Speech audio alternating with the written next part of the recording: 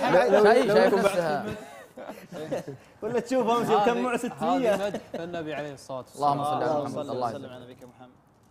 قال فيها شاعرها وهو شاعر الحاصل على جائزة شاعر الرسول عبد الله العنزي أبو أصيل.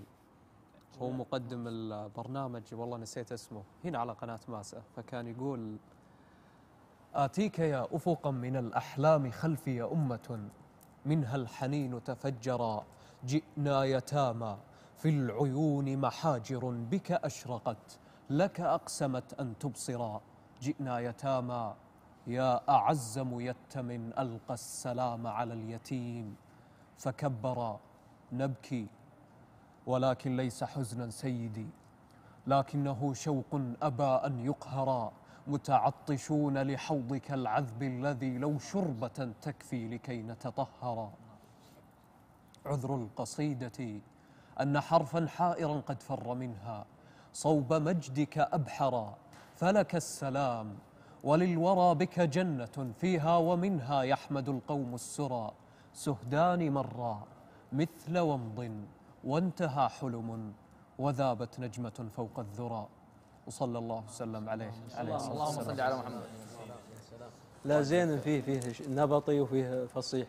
كل كلهم يكملون بعض. جميع الذوائق. لا أنا السؤال لل- لل- للشعراء هل من يجيد الفصيح يجيد ال- العامي؟ العامي؟ ما هو بشرط.